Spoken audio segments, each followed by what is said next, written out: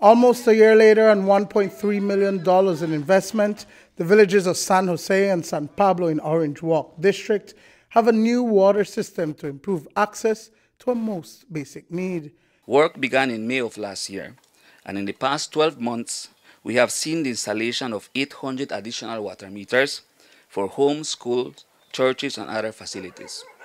The water tank behind us has been rehabilitated to improve the quality of water being distributed between San Jose and San Pablo.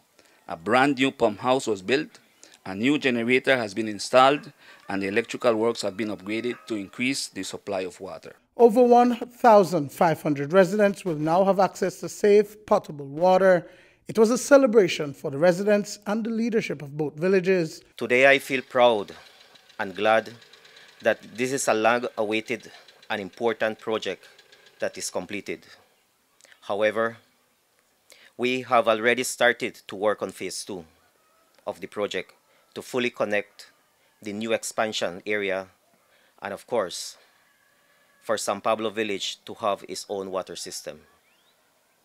Indeed, words can explain how happy I am today since I was actively involved from the inception of this project serving as the chairman of the project monitoring committee. We are blessed with all the kind heart, especially with our ministers. God bless them a lot because because of God things happen around our community. We have also believed that God is the one who blesses us in every single aspect of what we get.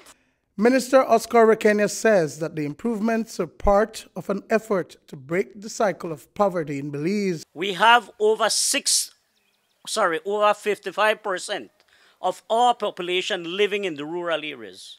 And we all know the challenges that our people in the rural area have faced for many years. We are here to change that because that is the commitment that we made that we are going to work hard, we are going to transform the rural area for the benefit of our people. Duane Moody for News 5.